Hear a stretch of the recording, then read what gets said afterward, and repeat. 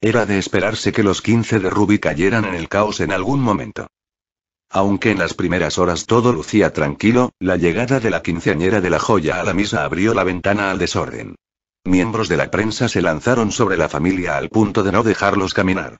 Fue ahí cuando Anael, la madre de Ruby, perdió la paciencia. Entiende más un animal que personas de la prensa, gritó la mujer mientras pedía orden. Es un desorden, dijo el padre Felipe, quien recibió a la quinceañera en el estanque de la comunidad La Joya para dar paso a la celebración religiosa efectuada al aire libre.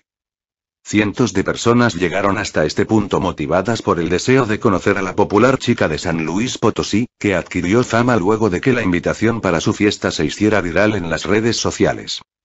La niña está asustada ya, decía una de las organizadoras, quien le pedía al padre pedir orden al público y a los representantes de los medios de comunicación que como una avalancha se dejaron ir sobre la festejada para tener la mejor toma.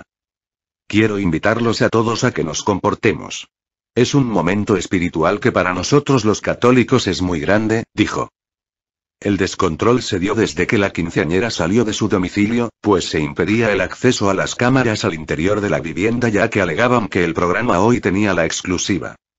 En el interior del domicilio se encontraba Alfonso Eichmann, el maquillista de las estrellas, hombre de confianza de la primera dama Angélica Rivera y ahora también maquillista de Ruby, como la ha sido de famosas como Thalía, Gloria Trevi, Alejandra Guzmán, Galilea Montijo y Araceli Arángula, entre muchas otras.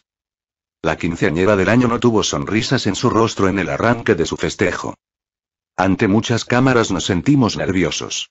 No estamos acostumbrados, dijo el padre Felipe ante decenas de reporteros que cubrieron la misa. Bueno amigos, me despido, muchas gracias.